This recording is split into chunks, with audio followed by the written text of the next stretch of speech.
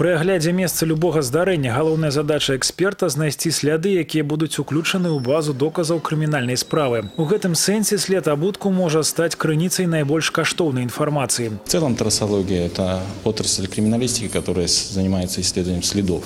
Следы обуви, с учетом их важности в раскрытии преступлений, конечно же, имеют свою специфику. Для нас это важно, обмен мнениями экспертов. а, Мы дискутируем, мы приходим к общему мнению, а, мы повышаем свою квалификацию, без которой невозможна дальнейшая наша работа.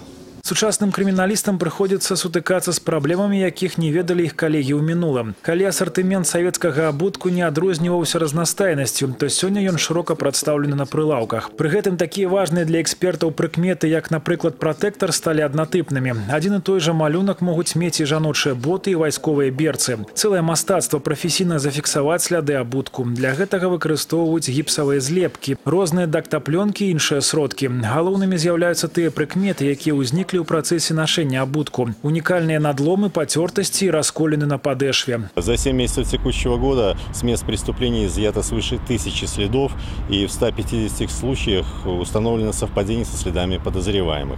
Э, Как один из примеров, в январе этого года обнаружены следы при угоне автомобиля. Эти же следы были обнаружены в месте, где э, злоумышленники оставили автомобиль, и это позволило в кратчайшие сроки выйти на преступников.